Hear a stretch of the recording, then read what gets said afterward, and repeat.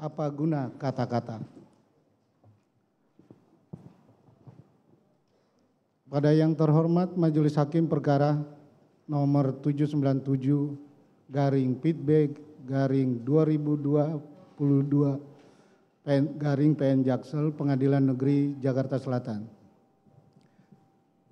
Perkenankan kami yang bertanda tangan di bawah ini, tim penasehat hukum Putri Chandrawati dengan ini mengajukan tanggapan atas replik jaksa penuntut umum atau duplik atas nama terdakwa Putri Chandrawati sebagai berikut.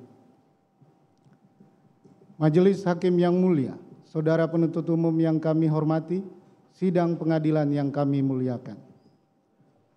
Puji syukur kehadirat Tuhan yang Maha Esa yang telah memberikan perlindungan dan kesehatan kepada kita semua sehingga melalui kesempatan ini kami tim penasehat hukum dapat mengajukan duplik atas replik penuntut umum tersebut.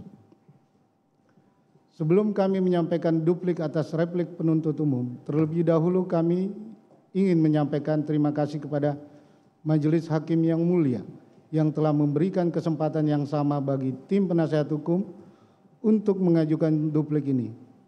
Sudah sewajarnya juga tim penasehat hukum berharap penuh kepada majelis hakim yang mulia yang memeriksa dan memutus perkara ini dapat berkiblat dan menjunjung tinggi pada kepastian dan keadilan berdasarkan prinsip-prinsip penegakan hukum. Tidak terjebak pada asumsi, klaim kosong tanpa bukti, manipulasi fakta dan peristiwa ataupun bentuk-bentuk tindakan lain yang mencederai proses peradilan yang fair.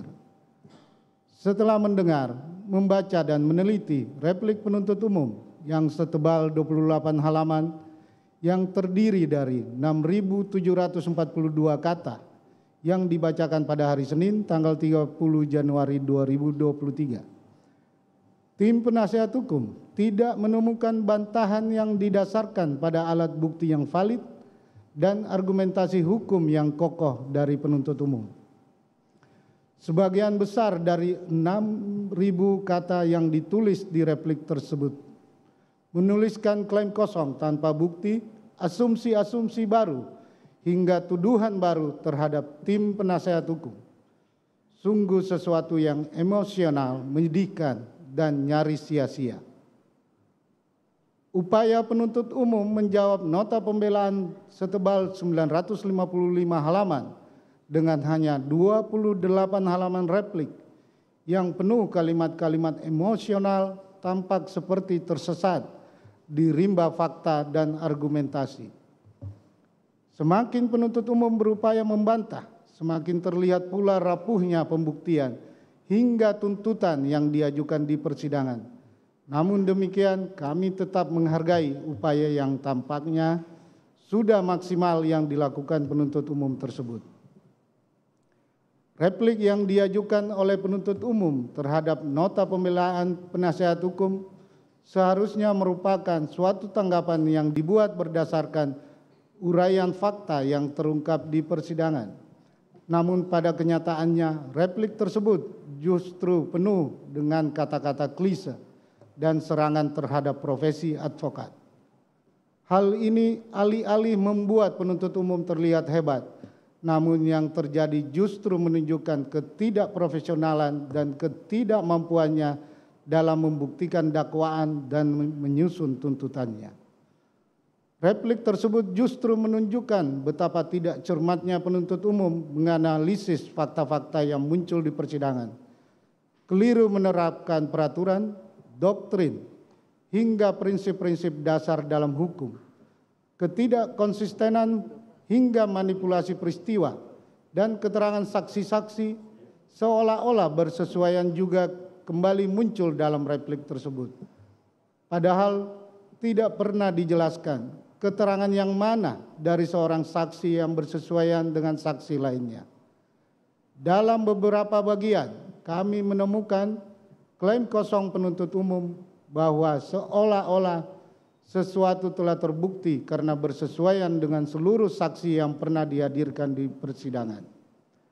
Padahal di bagian lain penuntut umum menolak dan mengatakan saksi-saksi tertentu menyampaikan hal yang tidak benar sehingga keterangannya yang tidak valid. Jurus sapu rata atau tanggapan yang sama untuk sejumlah argumentasi dan fakta yang berbeda juga muncul di replik tersebut. Sesuatu yang jelas menunjukkan ketidakmampuan penuntut umum mengurai dan membantah satu persatu dalil tim penasihat hukum yang telah kami tuangkan secara rinci dan cermat di nota pembelaan. Terkadang kami bertanya-tanya, apakah penuntut umum memang dengan sadar membuat replik yang tidak mengandung argumentasi hukum tersebut? Karena tidak ada bukti dan argumentasi hukum untuk membantah nota pembelaan tim penasihat hukum. Kami memahami Mungkin penuntut umum terlalu lelah menghadapi semua ini sehingga hanya menghasilkan replik yang rumpang dan atau kosong di sana sini. Namun tetap dilaksanakan harus selesai dan dibacakan. Alih-alih berkontribusi pada pencarian kebenaran material, replik yang seperti itu tentu bisa berbahaya bagi upaya mewujudkan peradilan yang fair sebagaimana kita cita-citakan bersama. Namun demikian, sebagai wujud sikap profesionalitas advokat, kami tetap menghargai penuntut umum yang tetap berusaha semaksimal mungkin menjalankan tugasnya. Walaupun sulit untuk tidak mengatakan isi replik penuntut umum tersebut sama sekali tidak memuat hal-hal yang substantif bahkan tidak menjawab secara yuridis nota pembelaan dari tim penasehat hukum seluruh dalil penuntut umum, baik dalam dakwaan, tuntutan maupun replik, hanya berupa asumsi tidak berdasar, emosi, dan merupakan delusi. Untuk menghindari kita juga mengulangi kesalahan yang sama dari penuntut umum dalam menyusun tuntutan dan replik. Dalam duplik ini, kami akan memberikan jawaban berdasarkan fakta-fakta di persidangan, peraturan perundang-undangan doktrin, jurisprudensi, dan argumentasi hukum yang dapat dipertanggungjawabkan secara profesional. Dilanjutkan majelis.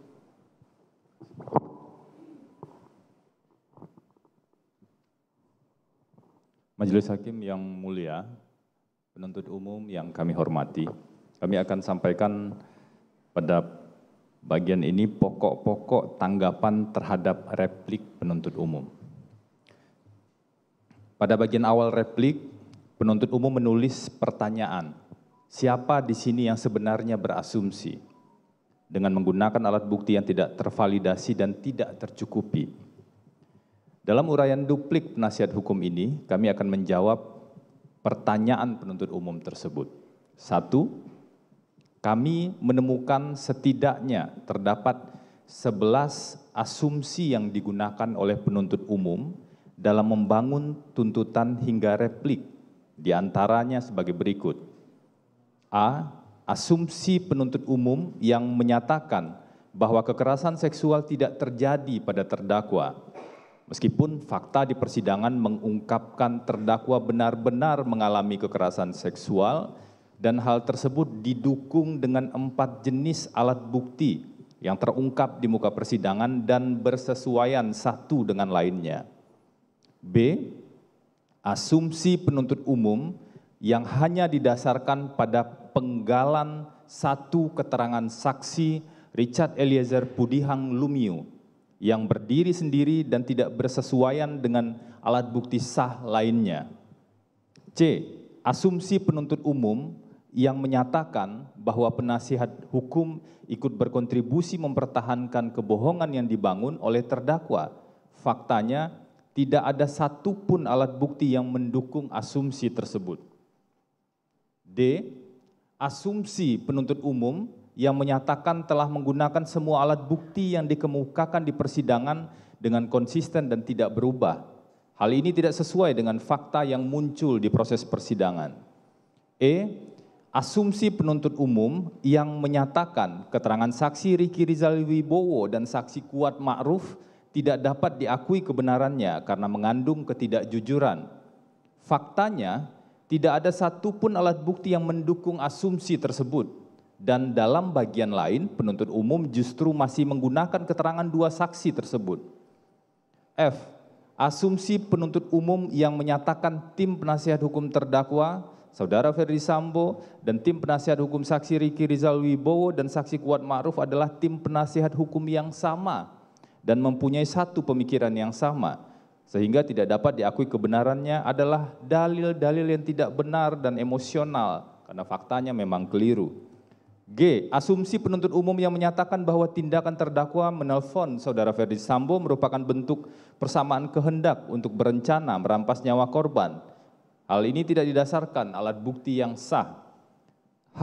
Asumsi penuntut umum yang menyatakan bahwa pakaian yang dikenakan oleh terdakwa saat meninggalkan kediaman Duren 3 merupakan pakaian yang tidak pantas dan merupakan bagian dari skenario adalah dalil yang tidak berdasar berlandaskan pada pola pikir seksis, diskriminatif, dan cenderung mendiskreditkan perempuan.